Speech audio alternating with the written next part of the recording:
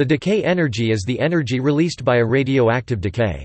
Radioactive decay is the process in which an unstable atomic nucleus loses energy by emitting ionizing particles and radiation. This decay, or loss of energy, results in an atom of one type, called the parent nuclide transforming to an atom of a different type, called the daughter nuclide.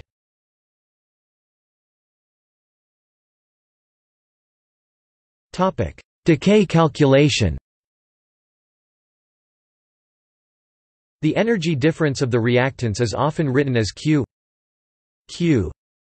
equals kinetic energy after minus kinetic energy before display style q equals left text kinetic energy right underscore text after left text kinetic energy right underscore text before q equals rest mass before times c 2 minus rest mass after times c 2 Display style q equals left left text rest mass right underscore text before times c caret 2 right left left text rest mass right underscore text after times c caret 2 right Decay energy is usually quoted in terms of the energy units MeV million electronvolts or keV thousand electronvolts.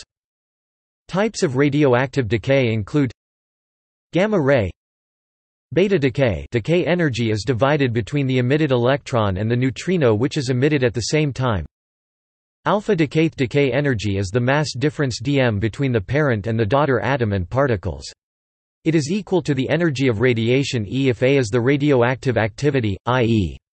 the number of transforming atoms per time, m the molar mass, then the radiation power W is W equals D m times A m Display style W equals dm times left frac a m right, or W equals E times A M. Display style W equals E times left frac A M right. Example 60 Co decays into 60 Ni the mass difference dm is 0.003 U. The radiated energy is approximately 2.8 MeV the molar weight is 59.93 the half-life T of 5.27 year corresponds to the activity A equals north asterisk lane 2 T, where n is the number of atoms per mole. Taking care of the units the radiation power for 60 Co is 17.9 with G. Radiation power in with G for several isotopes. 60 Co, 17.9 238 Pu, 0.57 137 Cs, 0.6 241 Am, 0.1 210 Po, 140 T equals 136 D 90 Senior, 0.9 226 Ra, 0. 02